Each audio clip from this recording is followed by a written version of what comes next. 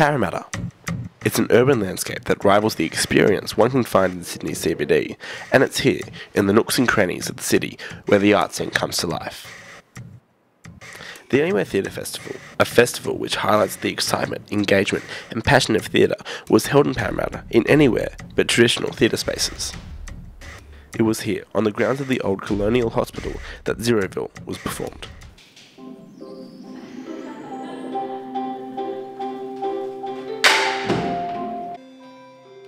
The idea with Zeroville in connection to Parramatta is that it's a, a future projection of what Parramatta might be like.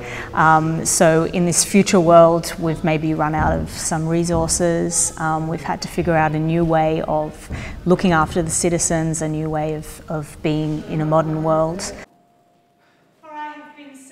Zeroville and My Love had a black speed stripe all had themes that residents could relate to. Whether it's the increase in the use of technology or a look into the effects of car culture, each performance speaks to the audience.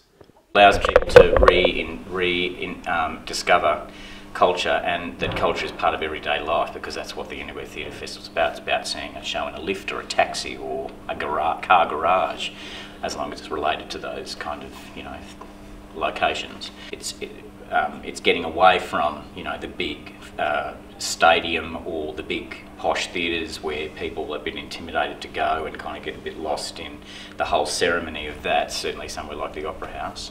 Um, and it, it allows them to re-engage with culture. That's, I think, really important because it's something that these suburbs don't get enough of and I think that they should. They need to engage both personally and also as a spectator.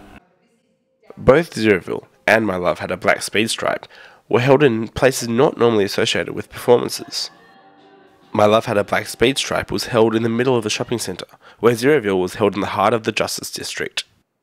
Yeah, we've got an interesting space because it's um, a glass pavilion, so it's a four-walled uh, box made totally of glass.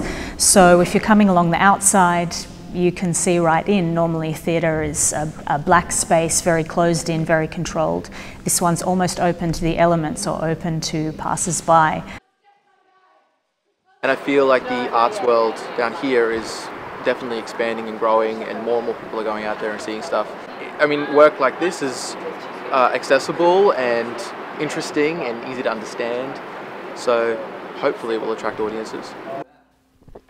As this year was the first year of the Anywhere Theatre Festival in Parramatta, it's exciting to see the responses of audiences to the shows. Who knows, the popularity of the festival may see it come back next year. Sam McGraw for Due West.